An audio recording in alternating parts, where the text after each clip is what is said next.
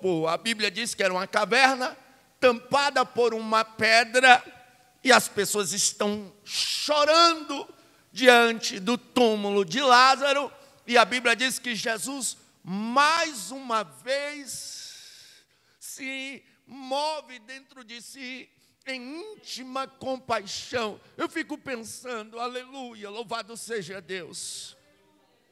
Esses dias eu vi um amigo meu contar sobre um processo que ele passou com o filhinho dele recém-nascido. Filhinho dele teve diversas paradas cardíacas, a ponto de ter que amputar um braço. Enquanto ele contava o processo que ele passou com o filhinho dele recém-nascido, eu logo pensei no meu filho, na minha filhinha, que graças a Deus tem uma saúde perfeita e eu louvei a Deus por isso. E eu fui tomado em um choro de lágrimas, aquele meu coração doía ao ver ele contar sobre o filho dele.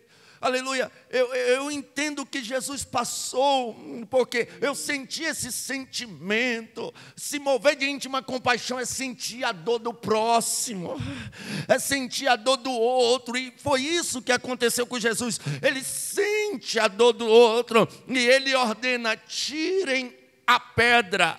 Só que a Bíblia Sagrada diz que ela questiona, mas Senhor já faz quatro dias, já cheira mal, e tu manda tirar, aleluias. E Jesus, sim, tirem a pedra, removam a pedra, ainda que cheire mal. Eu preciso dar jeito nisso aí.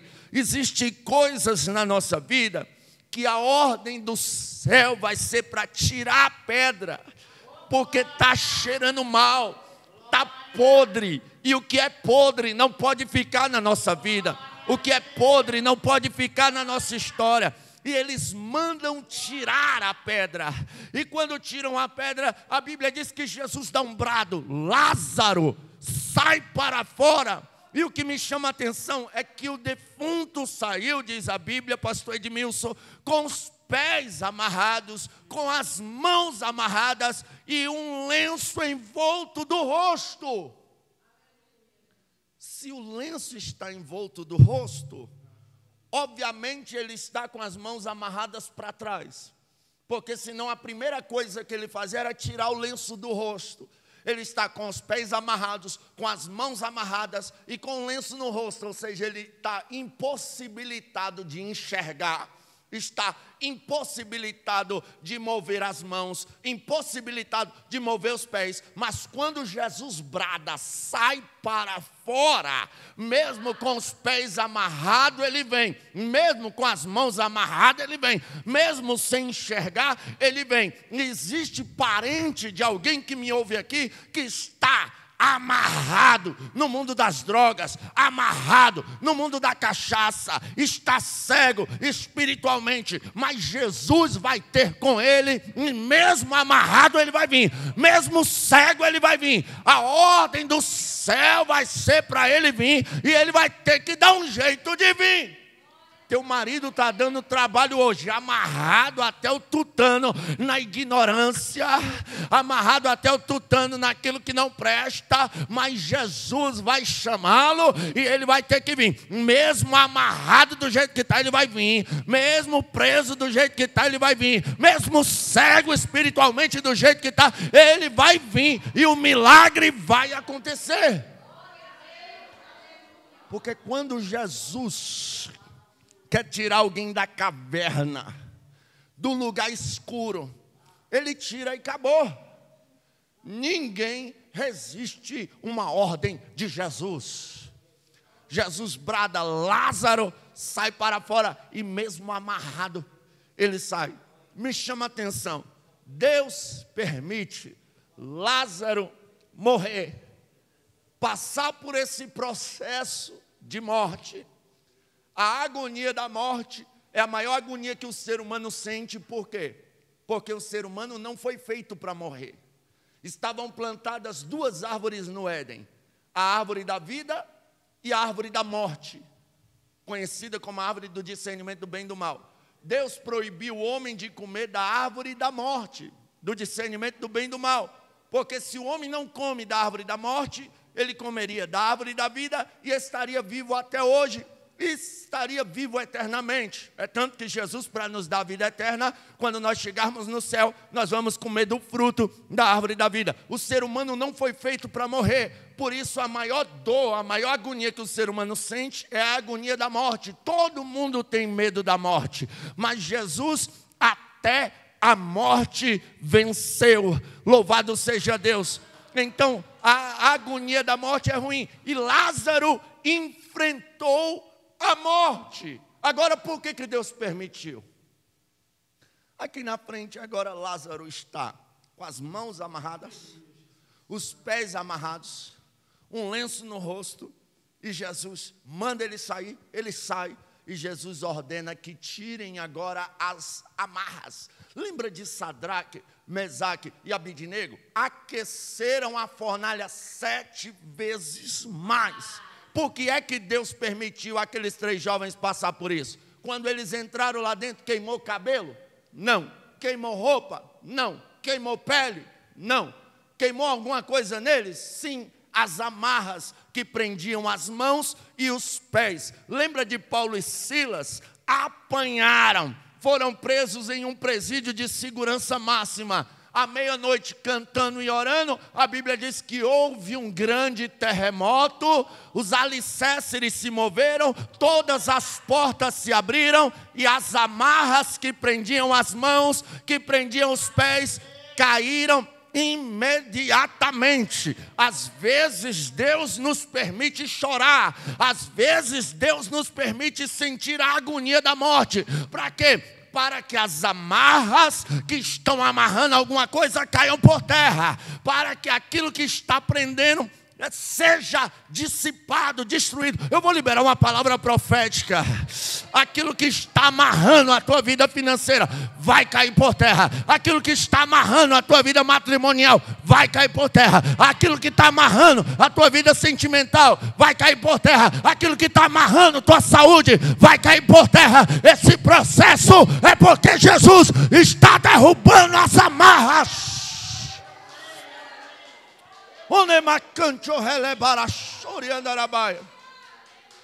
Existem dias que a gente chora, mas até no nosso choro Deus tem propósito. Até no nosso choro Deus sabe o que está fazendo. Eu aceitei a Jesus dia 15 de janeiro de 2006. Eu morava aqui na ali em cima na favela do Mingau. Aqui o Pinheiro era só mato. Chácara. E a gente vinha para cá. É, eu tenho vergonha demais do meu passado. Roubar as coisas dos outros na chácara por aqui. Nesse... Graças a Deus que Jesus me libertou. Mas pensa numa tribulação que era a minha vida. Eu me converti, aceitei a Jesus com dois anos que eu estava na igreja, meu irmão, o único que nunca mexeu com coisa errada, Rafael foi para a escola e eu fui consagrado a diácono num dia. Quando foi no outro dia pela manhã, minha mãe me acordou chorando. Gabriel, Gabriel, mataram seu irmão, mataram seu irmão. Eu falei, não, mãe, não, mãe.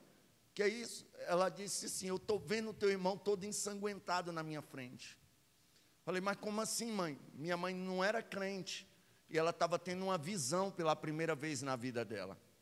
Aí, é, todo mundo aqui na favela do Mingau lembra dessa história, o pessoal mais antigo que morou lá desde a época de 2006 para frente. Aí, meu irmão vinha descendo ali na quadra da 11 e foram roubar ele, um tênis, e espancaram ele, bateram muito nele.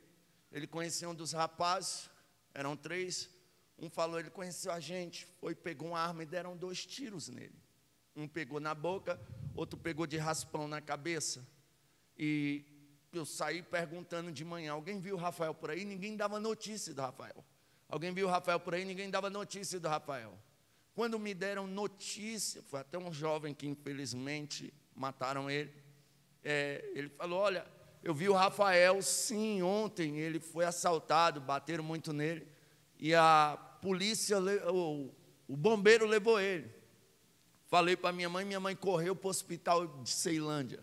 Quando chegou no hospital de Ceilândia, disseram: Olha, entrou um jovem aqui assim, mas ele foi transferido com urgência para o hospital de base. Não sei nem se chegou lá vivo. Minha mãe correu, quando chegou lá, ela conheceu meu irmão pelas verrugas que ele tinha no pé. Minha mãe é, ficou desesperada. O médico chamou minhas irmãs e disse: Prepara sua mãezinha, porque esse menino não sai vivo daqui. Minha mãe quando minhas irmãs falaram isso para ela, ela foi lá, chamou o médico e disse: Ô médico, doutor, o Deus do meu filho, que é pregador do Evangelho, vai tirar o meu outro filho daí de dentro com vida. Ele olhou e disse: É, mãezinha, só um milagre. Mas o meu Deus é um Deus de milagre. Aleluia. Quando é, eu, minha mãe chegou em casa, ela perguntou se eu queria ver meu irmão. Como eu tinha saído desse mundão terrível, eu falei, mãe, eu não quero ver meu irmão agora. Eu não sei se eu estou preparado para isso. Tem um jovem amigo meu, acho que, eu acho que todo mundo conhece ele por aqui, o Joab. Ele foi lá em casa na época e falou: os caras que fez isso com teu irmão tá bem ali. Bora lá matar eles. Você pensa que eu não quis ir? Você pensa que eu não fiquei revoltado? Fiquei, mas eu baixei a cabeça e comecei a chorar. Eu disse: não vou. Ele disse: por quê? Eu falei: porque agora eu quero ser igual a Jesus. Pai, perdoa eles. Eles não sabem o que fazem.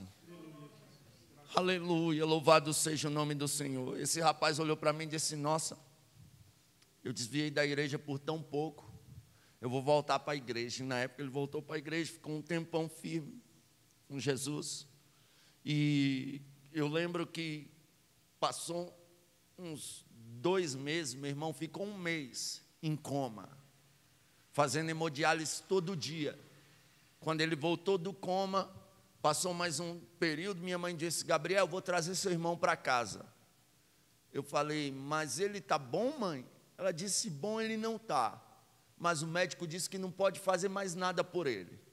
E lá dentro ele corre um risco de pegar uma infecção hospitalar e morrer. Vamos trazer, quem sabe em casa com a família ele se recupera melhor. Eu falei: Então traga, mãe. Realmente um ditado certo é: o que os olhos não vê, o coração não sente. Eu não tinha visto meu irmão. Meu irmão tinha o meu corpo, do meu mesmo tamanho, mesma estatura. Quando minha mãe chegou no carro, que falou bem assim: Gabriel, vem cá ajudar a pegar seu irmão. Quando eu abri a porta de trás do carro, eu quase desmaiei quando eu vi meu irmão. Ele secou tanto, tanto, porque ele, o médico deu três diagnósticos para ele. O primeiro, não fala mais nunca, porque atingiu as cordas vocais, não come pela boca mais nunca, porque atingiu essa região aqui da garganta, e não anda mais nunca. Ele se alimentava por uma sonda, e ele ia se alimentar por aquela sonda, segundo o diagnóstico do médico aqui da terra, para o resto da vida dele, soro e um comprimidozinho na sonda. Ele secou tanto, ele estava igual aqueles meninos da África, dava para ver os ossinhos da cartilagem aqui da orelha. E a, a, cabeça dele rapada e toda cortada, toda furada assim, dava para ver o sangue. E foi aquilo me emocionou muito, porque não tinha mais onde furar para pôr remédio, ele estava furando na cabeça. Quando eu vi meu irmão, que ele olhou para mim, tentou gritar e não conseguia, só saía. Uh, uh, e a lágrima desceu, eu quase desmaiei eu saí correndo e tem um, um amigo meu, eu entrei no quarto primeiro, eu me joguei no chão, eu falei, Deus, por quê? Porque o Senhor me usa para dar livramento para os outros, porque o Senhor não deu livramento para o meu irmão. Quando colocaram meu irmão no quarto, que ele tentava falar e não conseguia, ficava uh, agonizando, aquilo hum, dentro de mim doía. Eu saí correndo. Tem um irmão que dirige um outro detalhe aqui perto, o pastor Edson, esposo da Luciana. Eu cheguei na casa dele, eu me joguei no chão. Eu falei, irmão Edson, meu irmão era normal. O que, que fizeram com meu irmão? Por que Deus permite a gente passar por isso? Eu chorei. Ele ficou calado, me olhando, sem ter o que fazer. Ele disse: Calma, Gabriel, todas as coisas cooperam para o bem daqueles que amam a Deus. Aleluia. Aleluia. Meu irmão, com o tempo que estava lá em casa, ele amanheceu sim a sonda. Minha mãe disse, eu não tinha carro na época.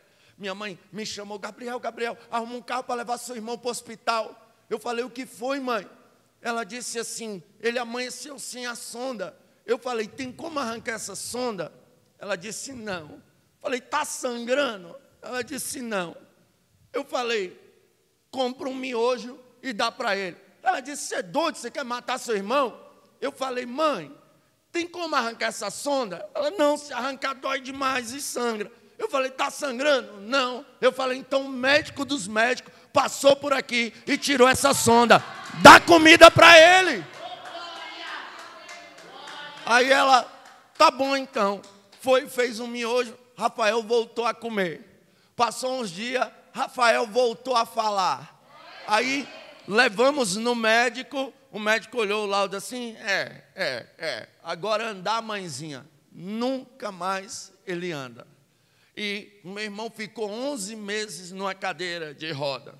Aí, quando foi um dia, estava tendo um culto na Assembleia de Deus próximo à minha casa, ia ter um pastor lá que era muito usado em milagres. Nessa época, Deus permitiu que através da minha vida na Bahia, uma mulher levantasse da cadeira de roda, que na Samambaia um senhor em Cristalina, outro homem levantasse da cadeira de roda, e em Barra do Garças uma mulher levantasse da cadeira de roda. Eu vi quatro pessoas levantar de uma cadeira de roda, enquanto meu irmão estava numa cadeira de roda. E eu falava, mas Deus, e Deus disse a mim: Isso aí é para tu saber que não é tu, é eu que faço, no meu tempo eu vou fazer. Aí eu saí para pregar. Quando eu terminei de pregar, eu falei para minha mãe, né? Leva o Rafael ali na igreja, vai ter um homem lá que eu fiquei sabendo que Deus usa ele. Aí minha mãe, tá bom, vou levar ele lá. Quando eu saí, aí tinha umas 40 ligação no meu celular. É, eu já fiquei com medo. Aqui, essa região, a gente sabe, né? 40 ligação assim, direto. Aí ligou de novo. Quando eu atendi, alguém gritou, ele atendeu quando falou, ele atendeu, um monte de crente gritou: Gabriel, o pastor orou e o Rafael levantou da cadeira de roda, Gabriel. Jesus fez um milagre. Aleluia! Louvado seja Deus. Hoje minha mãe é crente em Cristo Jesus e uma boa parte dos meus irmãos entenda, quando Deus permite a gente chorar, é porque Ele quer libertar alguém. Vai haver libertação na tua casa, vai haver libertação no teu lar. Aleluia. Eu vou liberar uma palavra profética. Teu filho não vai morrer, tua filha não vai morrer, teu marido não vai morrer. Sem Jesus, não, ainda que seja no último momento Deus vai libertar. Alabando que minarauácia. Urabacalaxéria. Deprova séria. Eu ouço barulho de cadeias sendo quebradas. Amarras sendo quebradas. E o nome de Jesus. Uriarabanderebida canto reminarauanderebashuia. Aleluia, entenda, o choro pode durar uma noite, mas a alegria vem ao amanhecer. Te prepara, porque vai ter culto de ações de graça. O culto fúnebre está suspenso. Jesus vai trazer alegria para dentro daquela casa. Aleluia! Glória! Então Jesus manda que Lázaro saia. E ele amarrado, as mãos e os pés, cego, mas ele sai. oh glória. Oh glória. Existem ocasiões que a gente pensa, não tem mais jeito. Isso aí está amarrado até o tutano, está preso, está cego espiritualmente. Mas quando Jesus chama, pode estar cego amarrado, mas vem. E eu sei que Jesus tem chamada na vida do teu filho, mulher. Eu sei que Jesus tem chamada na vida do teu marido. Eu sei que Jesus tem chamada na vida da tua filha. Só que ela está amarrada, ele está amarrado hoje, mas Jesus vai chamá-lo, mesmo amarrado. E quando Lázaro vem, Jesus dá uma ordem: agora tirem as amarras, deixe eles irem, deixe ele ir, melhor dizendo, deixe ele sair. Deixe ele livre. Jesus vai livrar alguém da morte, da enfermidade, do vício, das trevas, e o nome dele vai ser glorificado. O testemunho vai ser contado. Às vezes, Deus permite a gente passar. A Bíblia diz que muitos dos judeus creram aleluia. Lázaro, segundo alguns historiadores, foi um dos maiores ganhadores de alma daquela época, pelo seu testemunho. É por isso que está difícil. Parece que Jesus não chegou para libertar teu filho, teu marido, tua filha, teu pai, tua mãe, seja lá quem for. Parece que Jesus não está ouvindo tua oração. Parece que Jesus não está ouvindo o teu grito de socorro. Eu não sei qual é a causa que está difícil, está estreito, e parece que Jesus não vem, que Jesus não está preocupado. Tu já fez campanha, já orou, subiu o monte, desceu o monte, veio para culto, consagração, vigília de oração, já derramou a lágrima na madrugada, e parece que Jesus não vem, né? Parece que a causa está dada por perdida, mas não, ele vem na hora certa, aleluia, e ele resolve o que precisa ser resolvido. E eu vou liberar mais uma palavra profética: ele vai agir aonde nós não podemos agir, Ele vai tocar aonde nós não podemos tocar, Ele vai fazer o que nós não podemos fazer, Ele vai dar vitória aonde nós não podemos dar jeito, Ele vai dar jeito, Ele vai pôr no lugar o que está fora do lugar, Ele vai arrumar o que está bagunçado, e o nome dele vai ser glorificado. Aleluia. Se coloque de pé em nome de Jesus.